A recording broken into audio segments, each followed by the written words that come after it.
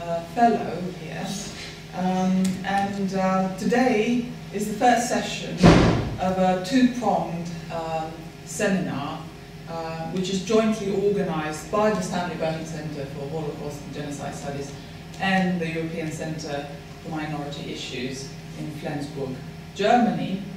Um, so the Stanley Burton Centre um, is the oldest centre for Holocaust studies in the UK um, and has uh, been organising um, a lot of activities, uh, uh, successful lectures, seminars, uh, has an annual conference, uh, so you can follow the, the activity of the centre on, um, on the internet. Um, first of all, I would like to quickly talk about the format of this workshop. So the way we'll go about it, we'll have some presentations, uh, and then we'll take the questions, comments, suggestions, thoughts at the very end. And we also invite people um, who might be actually following us on, on the internet to, um, you know, to, to, send uh, their questions by email or just by, by, by tweet, um, basically. My presentation today is not going to be a paper proper, but rather the sort of background presentation that creates some sort of a, um, uh, let's say, um, coherent narrative so that people understand where all of your papers actually fit in. Um, so you will have to excuse um, uh, things, commonsensical things that I will point out. This is just for the sake of, of the audience, basically.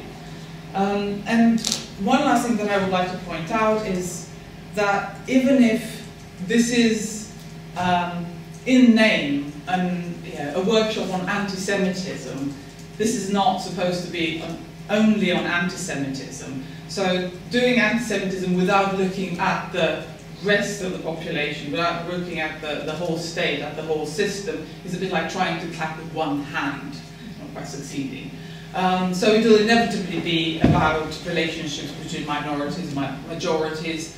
Um, it will be about state building, the, the, the, sort of anxieties of national identity, and also about this, this um, mental um, reflex that people still have nowadays of criminalizing a whole community, either for no reason whatsoever, or for the sins of a few. So you see it done again and again nowadays. Um, so I think yeah, this is this is something that, that we will we will touch on in, uh, in our presentations.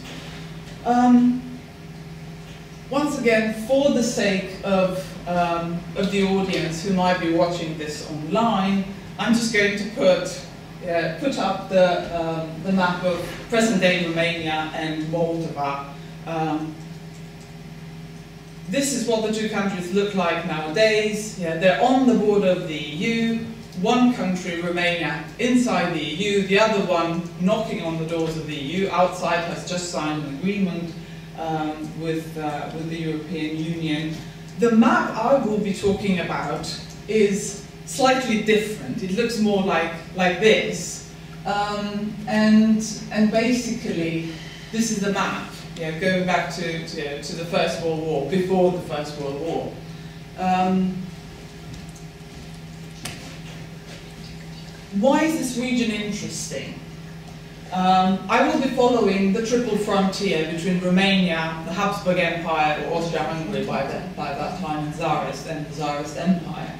Now, this region is interesting not only intrinsically, uh, but also because it is on the fault line of three empires virtually, or at least up until 1878, theoretically, it constituted the meeting point of three empires. Um, from the point of view of, of attitudes towards the Jewish population, the Ottoman Empire was by far the, the most accommodating. The Tsarist increasingly you know, oppressive across the, across the 19th century, and the Habsburg Empire gradually emancipatory. Now, once once again, for the sake of, of a broader audience, uh, not for the sake of the, of the people present here, this is a chart with changes that took place um, across the, the 19th century. Um, and what we need to remember is that the two countries nowadays kind of trace their origins back to two principalities, Wallachia and Moldavia. Um, and what is nowadays Moldova, Republika Moldova, is actually a splinter with infinite variations throughout the 20th century of, of one of these principalities. Now, yeah, to, to make things a little bit more uh, friendly, audience friendly, um, I put together some maps. Um, you will have to excuse my cartographic skills, which are um, very bad indeed. But what I'm trying to point out is how the region actually changed. Um, so in the 18th century, when there was still a Poland out there, um, you had two principalities under Ottoman suzerainty. So they were not completely integrated in the Ottoman Empire, uh, but they were still uh, dependent on it. By the end of the century, Poland is wiped off the map, and um, the sort of northern and eastern part of the Principality of Moldavia get, gets chipped off. So you have Bukovina going to the Habsburgs, um, and by 1812, Bessarabia, that is the eastern part of, of uh, the Principality of Moldavia, goes to the Tsarist Empire. The Crimean War hives off the southern counties of Bessarabia back to the Principality of Moldavia. Um, in 1859, you get this union, personal union between the two principalities, so that they end up looking like this. After the Russo-Turkish War and the Treaty of Berlin, you, you end up with an independent Romania, completely free from the Ottoman Empire, um, but the southern region of Bessarabia goes back to the, to the Russians. So yeah, this is, this is roughly the, the, the story of territorial change. Very schematic, very sketchy, so that there's lots to say about every, every one of these changes. What was the Jewish legal status around the border? Well, I tried to actually encapsulate it in like a few words. So I, am actually using Austria-Hungary as some sort of a term of comparison because they are right across the border and what they do is completely different. So I think I would term the Tsarist Empire treatment of their Jews as segregation. Yeah, they build a pale of settlement uh, which kind of ebbs and, and, and sort of uh, wanes uh, throughout the 19th century. Um, in Romania, I'm tempted to, I mean, what, what happens in Romania is something along the lines of Alba that is, the, the, the authorities try hard not to emancipate while pretending to emancipate. Um, so yes, they, they're forever shirking emancipation, whereas across the border in Austria-Hungary, you get full emancipation, full citizens' rights, um, which is based on a coincidence of interest. Now, I will quickly go through uh, through the next slide on Bessarabia because uh, Andrei will join us and he will actually talk more about um, about the, uh, the condition of Jews in Bessarabia.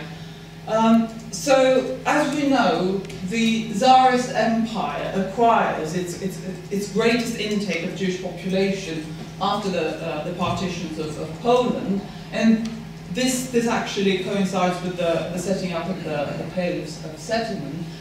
Um, the segregation that they opt for is not entirely watertight, and I'm sure that um, uh, Andrei can tell us more about this.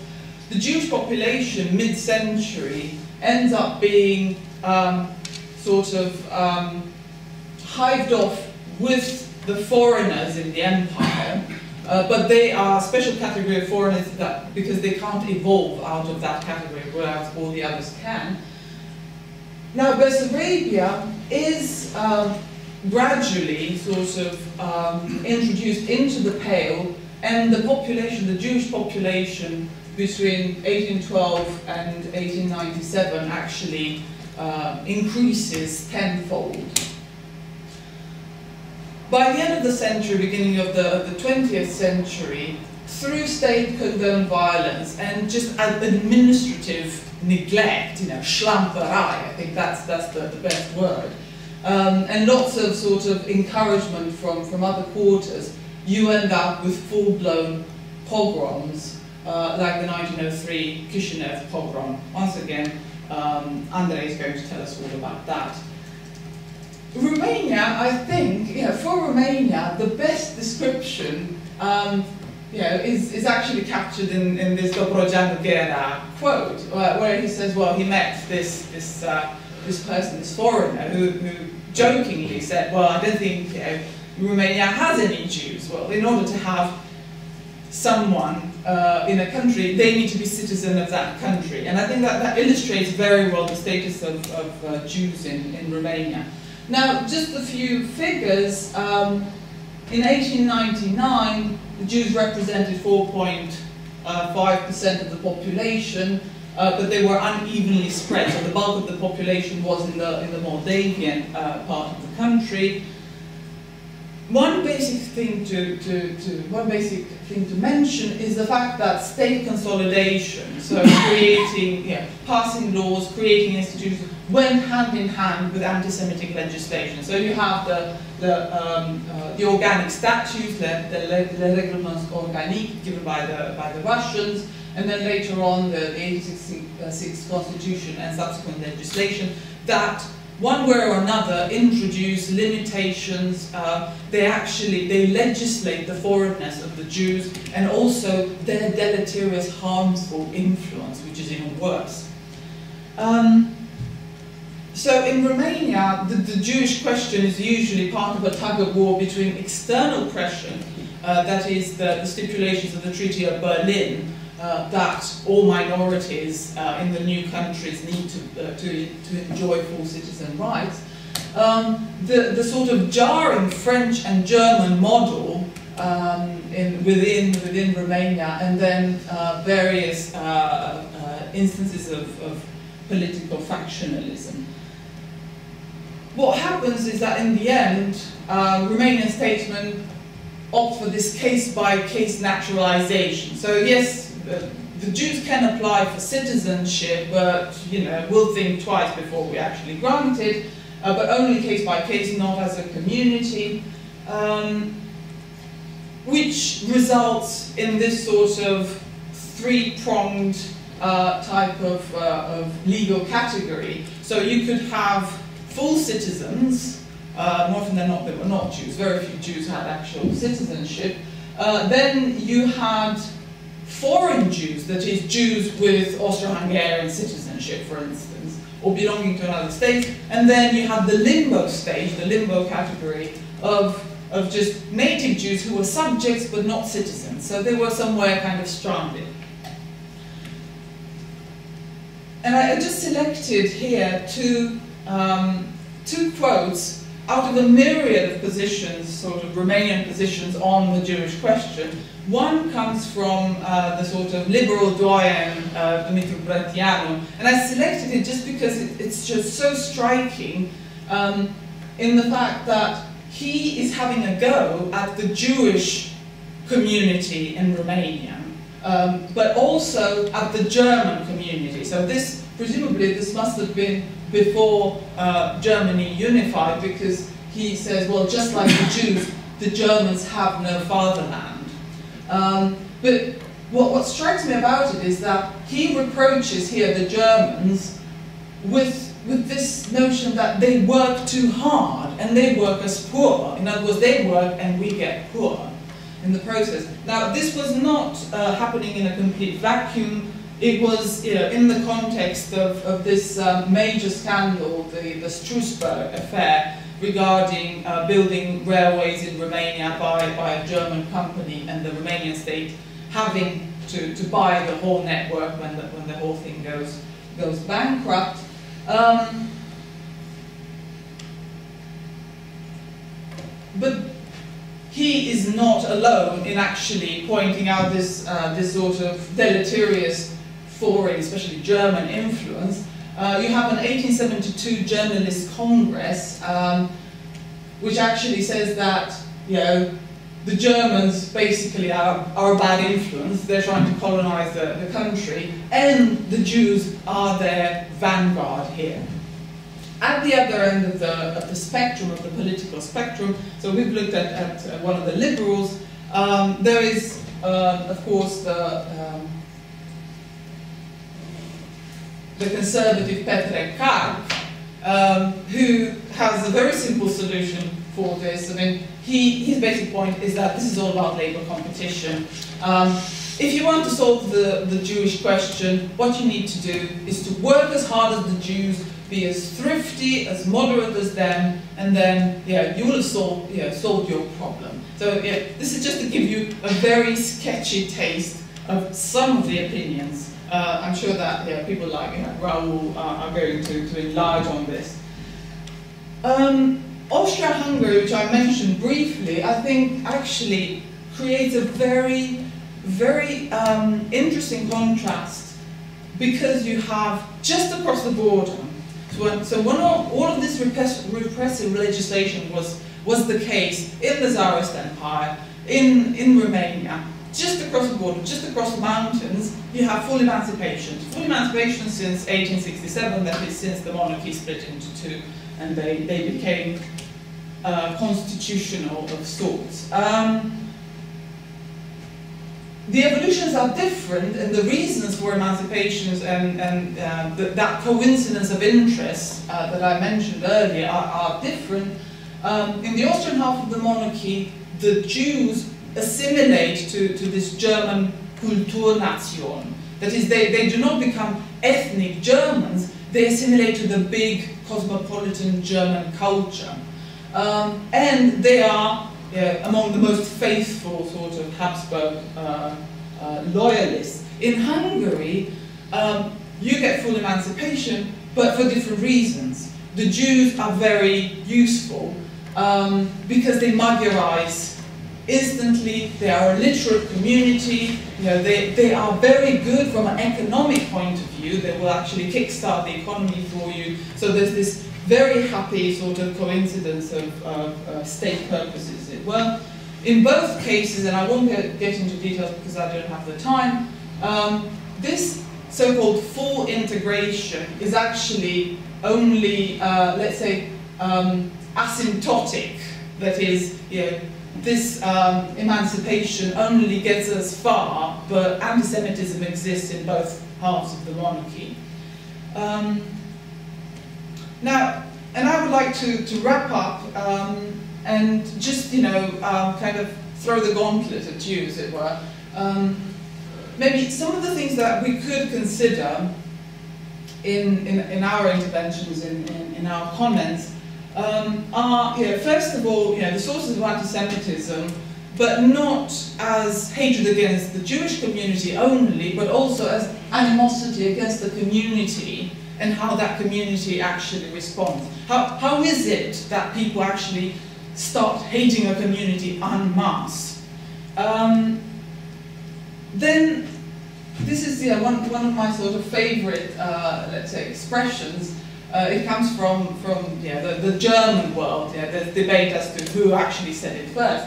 But maybe one, one point to consider when we consider the, the economic side of things is to what extent anti-Semitism uh, or any of this type of community hatred, as it were, is stupid people's um, you know, socialism. That is, you, you get ordinary people realizing there's something wrong economically, but the only explanation they can come with, or they care to come with, is that, oh, it's the Jews, or it's the immigrants, and so on and so forth.